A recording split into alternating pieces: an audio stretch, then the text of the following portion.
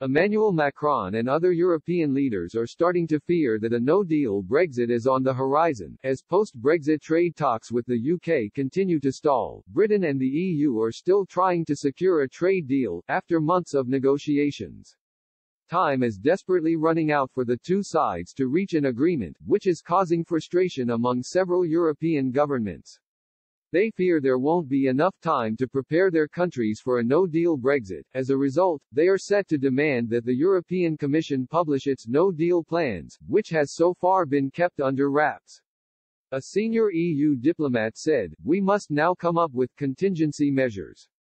January 1, 2021 is getting close, we need a safety net.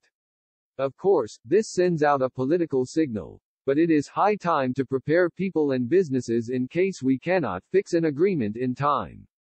I know member states will ask to get contingency measures out into the open. France, Belgium and the Netherlands appear to be leading the calls for the document to be published.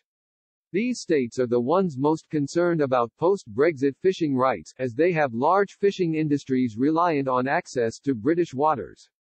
The three countries are concerned that businesses and fishing communities will be hit by economic disruption without EU contingency measures in place to minimize the effects of a no-deal.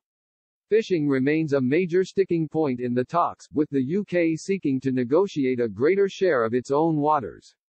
But the EU is determined for the status quo to remain, with French President Emmanuel Macron being particularly vocal on this matter.